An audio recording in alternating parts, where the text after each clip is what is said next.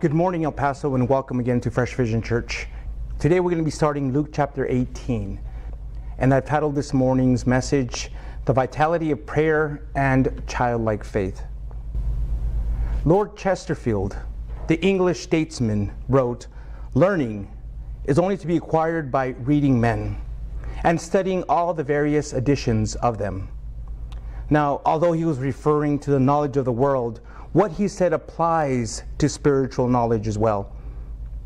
Many of us can learn a lot from reading the book of humanity, whether in daily life, history, biography, or even fiction. This is one of the reasons why I think it's so important to read books. But not only that, but to talk to people from different faiths and cultures. You see, it's important to educate yourselves about the people who've overcome adversity and helped shape history, regardless of whether they're Christian or not. Well, what we're about to see in this chapter are several editions of humanity, and each one will have a spiritual lesson to teach us. In the passages that we're going to be looking at today, the Lord Jesus will do this by using widows and politicians, Pharisees and tax collectors, and little children to continue to show his disciples about living life as a true follower. So, here are just some of the main lessons we're going to be learning about this morning the vitality of persistent prayer, humility, and the nature and power of childlike faith. So, before we get into God's word, let's ask Him to speak to us this morning. Heavenly Father, we are thankful for this morning. I pray for those that are watching and hearing this message. I pray that they will be blessed. I pray that they will hear from you. So fill me with your Holy Spirit, Lord, to deliver your message powerfully and unashamedly. And remove all distractions so that everyone's focus will be completely on you. Lord, we want to glorify you this morning. We want to praise you this morning. So speak to us now. We pray this in Jesus' name. Amen. All right. Luke chapter 18. Luke chapter 18. Luke chapter 18, verse 1. And the Word of God says, Now he told them a parable on the need for them to pray always and not give up. There was a judge in a certain town who did not fear God or respect people. And a widow in that town kept coming to him, saying, Give me justice against my adversary. For a while he was unwilling. But later he said to himself, Even though I don't fear God or respect people, yet because this widow keeps pestering me, I will give her justice, so that she doesn't wear me out by her persistent coming. Then the Lord said, Listen to what the unjust, the unjust judge says. Will not God grant justice to, to his elect, who cry out to him day and night? Will he delay helping them? I tell you that he will swiftly grant them justice. Nevertheless, when the Son of Man comes, he will find faith. Will he find faith on earth? This story about the widow and this politician, this judge, shows us how the vitality of persistent prayer trusts God to supply our needs in spite of all the interruptions from the crowds and from his opponents, Jesus regularly turned back to teach his disciples, to teach them new truths about the kingdom. In this particular instance, he was teaching them on the need for them to pray always and not give up. He wanted them to understand that prayer isn't supposed to be a one quick session where you can just list your needs and expect immediate results. Rather, he wanted to show them that prayer is talking to God consistently, persistently, and expectantly. You see, because prayer is based on absolute faith in God, it never gives up. And it also knows and it believes that God will answer when and where He chooses. Now, as Christians, we need to be aware as well that Jesus didn't mean that we should always have our knees bent and our eyes closed in prayer. That's not what he's saying here. However, we must always be in what is sometimes called a spirit of prayer. Paul mentioned this idea in 1 Thessalonians chapter 5 verse 17 when he wrote, "Pray without ceasing." It's hard to measure how much good constant prayer would do and how much bad it would keep us from. As John Bunyan famously said, prayer will make a man cease from sin, or sin will entice man to cease from prayer. So, in order to explain this principle, Jesus uses another parable that illustrates what persistent prayer looks like. He begins by telling us about an emotionally passive judge who settled cases in a certain town. He did so without care, compassion, or sympathy for either party. And decisions were made on the basis of his own wisdom and power.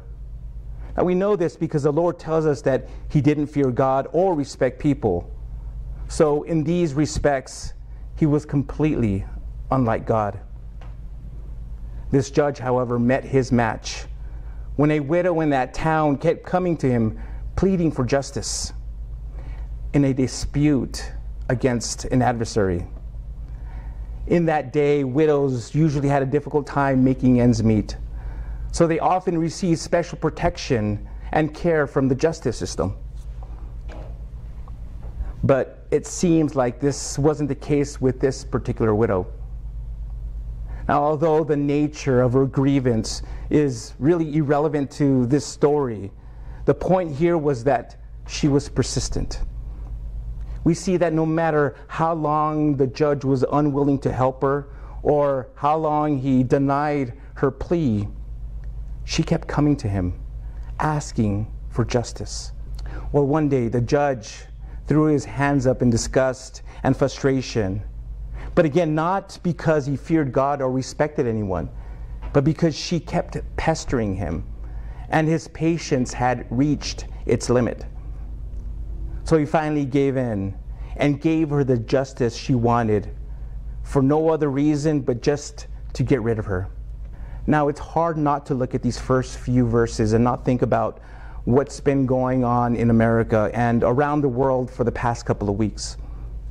In various cities across this country, people are demanding justice after seeing a defenseless man die under the knee of a man with authority. As a result, people are angry and exercising the First Amendment right to protest and publicly air their grievances. Many have said they won't stop until change happens and true justice is served. On this, I have no issue with. Time will tell how this will happen and what that's going to look like. But what breaks my heart is seeing the evil, the hate, the vitriol in people, and the images of chaos and destruction. Now, how should we as Christians, as born again believers, react or respond to the injustice that occurred and also what we've been seeing on TV and on social media? Well, honestly, there's a lot, and I can spend the entire hour here talking about the things that we, we should do and the things we can do. But to keep it within the context of our passage here, what we can do is pray persistently and ceaselessly, whether it be for justice or for change or for peace or for all three. Now, if you think that sounds naive, if you think that sounds impractical or it's ineffectual, then you don't know God or the power of prayer. But if you do know Him, then you'll agree with the words found in 1 Peter chapter 3 verse 12. The eyes of the Lord are on the righteous, and his ears are open to their prayer. Brothers and sisters in Christ, let me say this one last thing before I move on. As a believer, you have every right to go out there and protest and to also share your grievances. And I, and I hope that while you'll do that, that you'll do it with a heart of love and compassion and, and not participate in the hate. But let me say this you'll be more effective on your knees in prayer than on your knees in front of a police line. James chapter 5 verse 16 says, "The prayer of a righteous person is very powerful in its effect." Well, in verses 6 through 8, Jesus then applied the story for his disciples. If an unjust judge would act on behalf of a poor widow because of her nonstop persistence, how much more will a truly just God grant justice to his own elect? Now, the Lord probably had in mind the prayers of persecuted believers throughout the church age, past, present, and future Christians who'd long for justice and who'd cry out day and night for God to avenge them and to deal with their persecutors. He then assures them that the day is coming when his spirit will no longer strive with men, and then he will swiftly grant them justice. The promise here is not necessarily for speedy, but for timely answers to prayer. The Lord Jesus closed the parable with the question Nevertheless, when the Son of Man comes, will you find faith on earth? Now, he could be implying that when he returns, genuine faith will be rare on earth. So let me ask you if he came today, what do you think the answer would be? Will you find the kind of genuine faith that the poor widow had? Or will you find a faith so shallow that persistent prayer has become extinct? Well, we'll certainly find out when he comes. But in the meantime, each of us should be stimulated to the kind of faith that cries to God night and day. That way, as the world is crumbling around us, when he does return, he'll find his people where they ought to be in prayer. So, in this parable, Jesus taught that God isn't badgered by prayer, but that those who pray, his own elect, should do so constantly, persistently, and expectantly. For those who pray this way, answers will come. Maybe not as soon as they want or expect, but when they come, they'll be understood as having come right on time. Jesus also uses his account of the widow to teach what our attitude should be in prayer. But notice that he gave this parable not so much as a parallel, but as a contrast. Because in all reality, our situation is, is different. First of all, we appear not before an unjust judge, but before a loving Father. When Jesus taught his disciples to pray, Our Father in heaven, the concept of God as Father was foreign to Jews. But Paul would go on to address God as Abba, as Papa, as Daddy in Romans chapter 8, verse 15. Thus, far from being our judge, God is our loving Father, our Abba, our Papa, our Daddy. Second, we appear before God not as strangers, but as His children. A photographer captured on film Supreme Court Justice Antonin Scalia on his chambers at his massive desk when one of his grandchildren came bursting into his room or into the room. The, the photograph shows Scalia looking up and smiling from ear to ear. It's amazing the access a person has with his parents.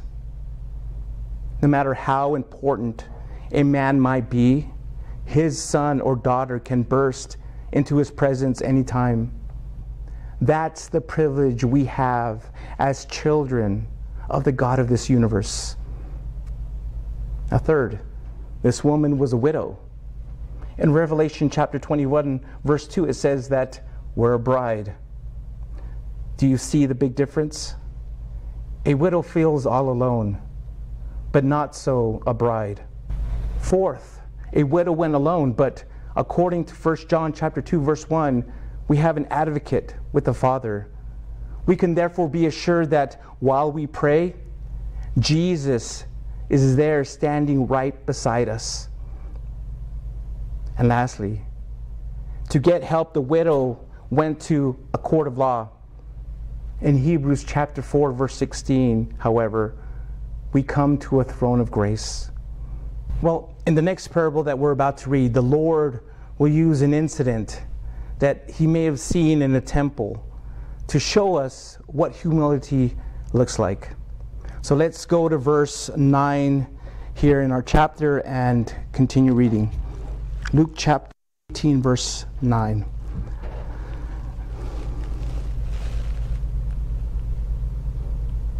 He also told them this parable to show them who trusted. it. He also, he also told this parable to some who trusted in themselves, that they were righteous and looked down on everyone else.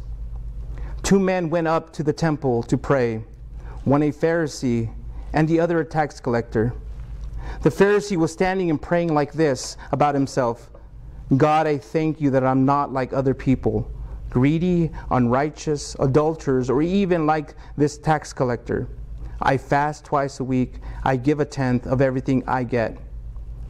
But the tax collector, standing far off, will not even raise his eyes to heaven, but kept striking his chest and saying, God, have mercy on me, a sinner. I tell you, this one went down to his house justified rather than the other, because everyone who exalts himself will be humbled, but the one who humbles himself will be exalted. As verse 1 says, this parable is primarily addressed to those who trusted in themselves on being righteous and looked down on everyone else. So Jesus uses the example of two men who went up to the temple to pray one a Pharisee and the other a tax collector. Hearing the word Pharisee, the crowd would have had two reactions that this was a religious man who kept all the rules, and he was also someone who regularly opposed Jesus. But upon hearing the other character, the tax collector, the audience would have felt disgust and betrayal. Why?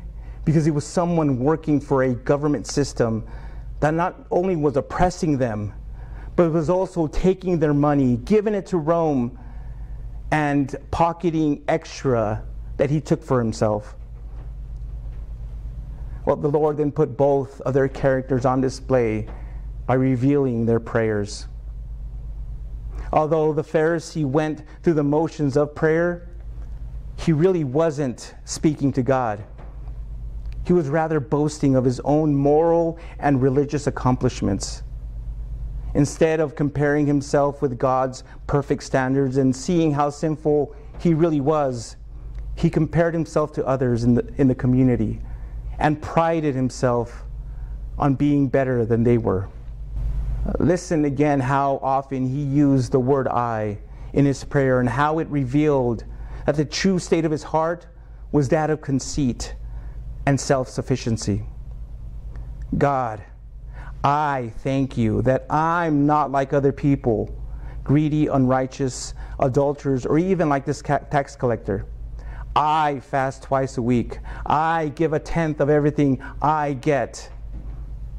As you can see, his prayer was just a narcissistic description of who he wasn't and a list of religious acts that he had accomplished. In no way was this the kind of persistent prayer that depended on God for one's needs. This was self adulation, giving all the credit to self and none to God. The tax collector's prayer, on the other hand, was a striking contrast. Standing before God, he felt unworthy, broken, dependent, and separate. He would not even raise his eyes to heaven, but striking his chest, he cried out, God, have mercy on me, a sinner. And literally, literally, this means the sinner. See, he didn't think of himself as one sinner among many, but as the sinner who was unworthy of anything from God. So, do you see the difference between the two prayers? The Pharisee thought he was praying to God. The tax collector, however, looked to and raised his voice to heaven. The Pharisee was proud and confident. The tax collector grieved over his own condition as a sinner. The Pharisee described his righteousness. The tax collector begged for mercy to escape the judgment his sin deserved. So let me ask again who do you think really prayed? We have a tendency to think our prayers are answered in direct proportion to how many times we've been to church, how many times we've had devotions, how many times we've tithed or given an offering. But nothing is further from the truth. Prayer isn't based upon merit, it's based upon mercy. That's what this sinner discovered. And once you learn this lesson, prayer will become a joy to you as well. Notice that the tax collector made no excuses for his sin. He came in total humility and simply said, God, have mercy on me, a sinner.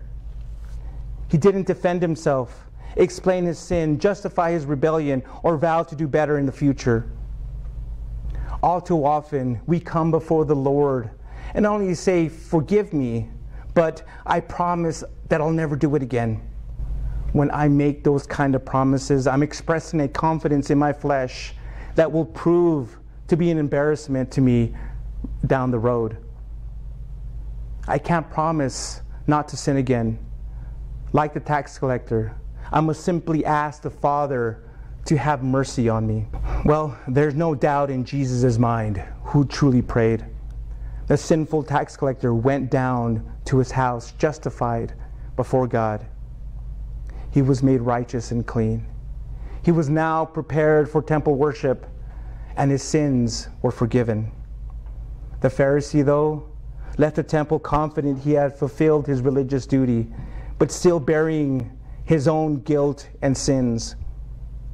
He really hadn't prayed because he never addressed God. He wasn't forgiven because he never confessed his sins. He wasn't clean or qualified for worship because he remained separated from God by his unconfessed sin. So the lesson is clear. Those who come to God with authentic humility, with a spirit of self humiliation and repentance, will find God favorable and acceptable. Unfortunately, this wasn't the case with the Pharisee because his prayer revealed his pride, his arrogance, and his unrepentant heart which led Jesus to repeat an important principle that's found three other times in the Bible. Everyone who exalts himself will be humbled, but the one who humbles himself will be exalted.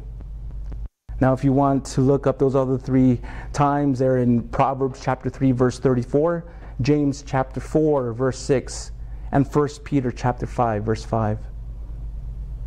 And once you understand that it's based solely on mercy, prayer becomes total pleasure.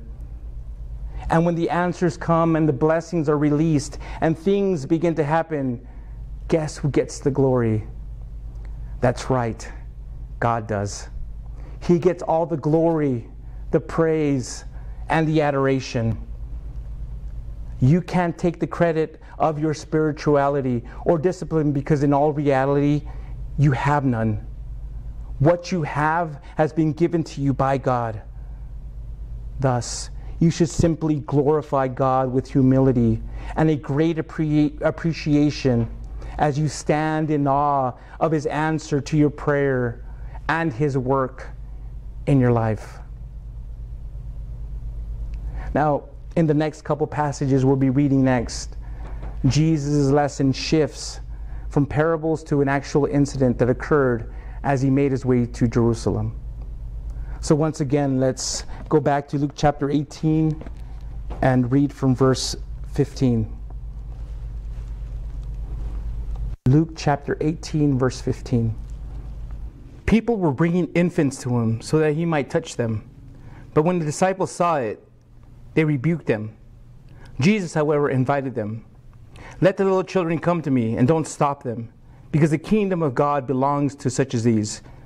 Truly, I tell you, whoever does not receive the kingdom of God like a little child will never enter it. Here, the Lord gives more insight on what the kingdom of God will be like. Now, this particular in- incident reinforces what the Lord taught in the previous passage, namely, that the humility of a little child is necessary for the entrance into the kingdom of God. In a time and place that was plagued by infant illness and death, parents brought infants and their children for Jesus to heal. The disciples, though, they didn't like this. They were annoyed by this intrusion into the Savior's time and took it upon themselves to send the parents away so that Jesus could focus on more important matters. Well, the Lord didn't like this. When he realized that, or when he realized what was going on, he immediately put a stop to it. He said, This ain't happening. He then held his arms open invited the little children to come to him and declared that the kingdom of God belongs to such as these. This goes to show that God's ways are different from men's ways and how he deals with the little ones, the unknown ones, the powerless ones. While the world seeks people of power, influence, and wealth, God seeks children. And he seeks them out for a couple of reasons. One reason is that his kingdom is built on their childlike characteristics trust, love, and innocence. In heaven, everyone will trust implicitly, love unconditionally, and be innocent eternally. And the second reason he seeks them out is that God wants children whom he can make into disciples children can absolutely understand the gospel and they can be saved at a tender age.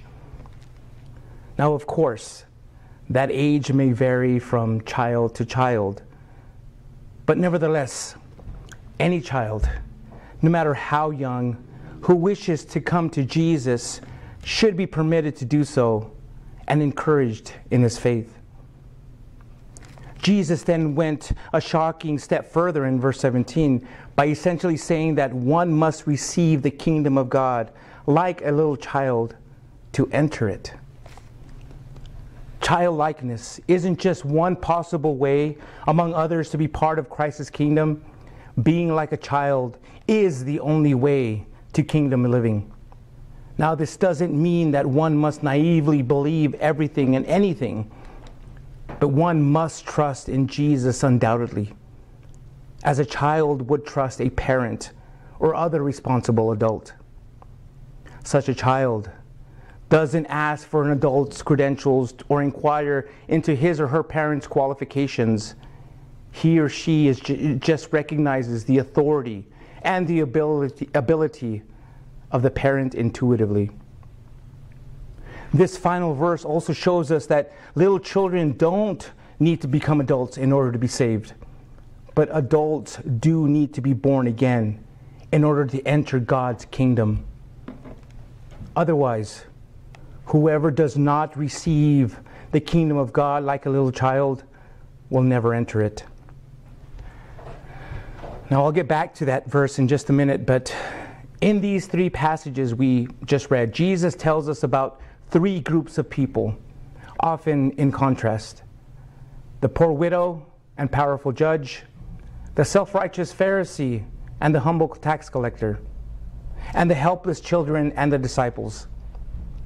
Through these two parables and the one meeting, we learned important lessons about persistence in prayer, God's desire to help, the danger of faith disappearing from the earth before the Son of Man returns the meaning of humble prayer as opposed to proud boasting, and the necessity of becoming like a child to enter the kingdom. Thus, these lessons are meant to urge us to have a life that persists in faith and prayer, and to maintain a childlike attitude of trust and hope. the vitality of prayer and faith will result in rewards here and in the hereafter. And it'll bring us to praise God and to give Him all the honor and all the glory. So let me ask you are you ready to receive the kingdom of God? If you believe that you are, and you're ready to receive Jesus Christ as your Lord and Savior, I want to lead you in a prayer to accept Him into your heart. Wherever you're at, close your eyes and bow your head. And if you're able to, get on your knees and then pray this with all sincerity. Lord Jesus, I know that I'm a sinner, and I ask for your forgiveness. I believe you died for my sins and rose from the dead. I now turn from my sins and confess you as my personal Lord and Savior. Thank you for saving me. With the Holy Spirit so that He may help guide me in my new born again life. In your name, amen. If you prayed that, if you prayed that simple prayer, then welcome to the kingdom of God. Your sins are washed away and you are now born again. So let us know about it. Contact us. You can go to our website, you can fill out that, that form in the bottom of our website, and you can tell us through our various social media pages. We have Facebook, YouTube, Twitter, Instagram. Let us know that you prayed that. Maybe we can help you find a church wherever you're located. But if you're here in El Paso, we want to invite you to come check us out. This new Christian life of yours is going to have its ups and downs. So you're going to need people around you to help you, to pray for you, to encourage you. That's what the church does. That's what the church is. So, again, what we want to do is just help you in those first steps. I hope that this lesson about the persistent widow showed you the importance of always praying, to never stop praying. I hope that the parable of the Pharisee and the tax collector showed you the importance of humility. That when you come before God, you've got to recognize who you really are in comparison to Him. And that because of His great love for you, because of His mercy, you are now His child. Not because of anything you've done or any accomplishments, it's simply because of His grace. And lastly, I hope that this story of the children coming to Jesus has shown you the importance of having a childlike faith, a faith that trusts, a faith that loves, and a faith that is innocent. Because the kingdom of God belongs to those who have a childlike faith. I hope all of you have a blessed week. As I did last week, I'll be praying for you this upcoming week that God will use you to bring others into the saving knowledge of Jesus Christ, whether it be by your words or by your actions. Never forget, you're his child now, and he loves you very much. Have a great and blessed week, and I look forward to seeing what the Lord has in store for us next week. We'll see you soon. Bye.